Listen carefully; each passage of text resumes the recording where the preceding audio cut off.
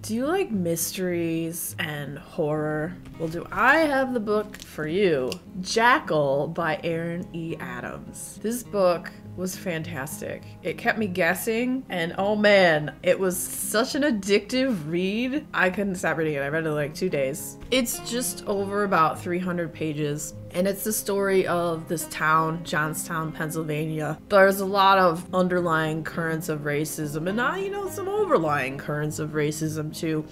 The whole premise in this book is that over the years, all these little black girls have disappeared and been horribly murdered and had their hearts cut out, and it's been kind of buried for years. Liz Roche, she's the main character, returns to town. She has somewhat of a connection to one of the girls that went missing years ago that was named Keisha, that she just has like missing memories of what happened that night because Keisha was taken instead of her. The reason all this gets brought back up again, she wasn't gonna return to this town. She didn't want to, but her best friend Mel is getting married. So she's coming home for two days only. She's gonna be in the wedding and go and see her best friend. She's gonna try to have a good time. And so she gets there. It goes okay, you know, she sees her mom. She hasn't seen her mom in a long time. And some of these people that she grew up with and went to high school with, and the parents of the bride, they're a little rough around the edges. And you kind of like see a little bit of like a hint of that racism.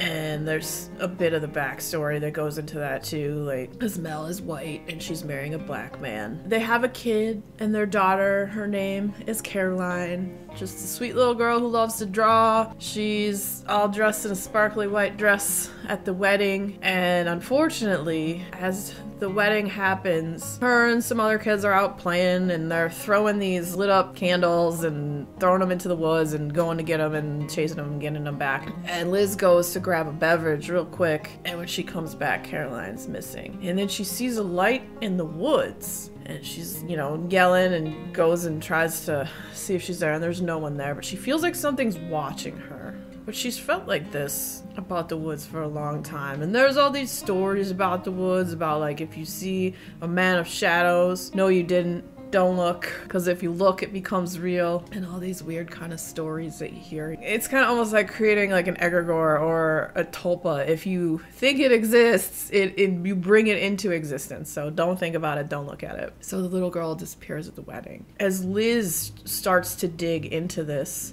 she makes a connection of all these other little black girls that have disappeared over the years. I mean, it, it, kept me guessing. I was super wrong about who I thought the perpetrator was gonna be. It was intense and then there's also like a supernatural element a bit to it with like the story of the thing of shadows how did liz get away because she was there on the night that one of those other girls disappeared something bitter and she has a scar on her arm from that night. She was like hiding and one of the other girls was taken. And it turns out that only one girl per summer is taken and it's around the same time of the year, around the summer solstice. It's really strange. And as Liz makes all these connections and she kind of contacts some of the mothers of the other girls, like this has been happening, I think it's over like 30 years and trying to put everything together and trying to save the little girl if she's still alive, shining a spotlight on how when little black girls disappear, they don't get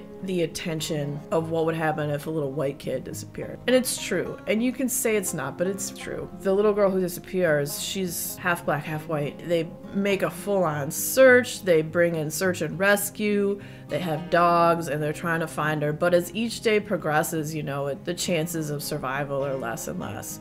And it's sad and it's heartbreaking, confrontational, and especially with accusations that maybe aren't accusing the right people, but you don't know, and trying to figure out who to trust. The writing was fantastic. It pulls you into the story and into the setting. It opens your heart and your mind. I really liked the characters. I liked the mystery of it all, like what was happening, what was going on, who was behind it. Is it people? Is it a supernatural entity? Is it some kind of weird cultish worship thing? Why are the hearts missing? What is going on? I don't know if this author has any other books? I think this might be a debut novel. It doesn't say. Erin. Adams, guys. Jackal. It's fan freaking tastic. If you're looking for a story that is horror and a mystery that keeps you guessing till the end, just flows really well, that keeps you up late at night because you can't stop reading and you have to know what's happening and what's going on and who do you trust, who do you turn to. Jackal by Erin E. Adams. If you're a fan of scary books, the next video coming up will be another scary book, so stick around, check it out. And if you had fun hanging out today,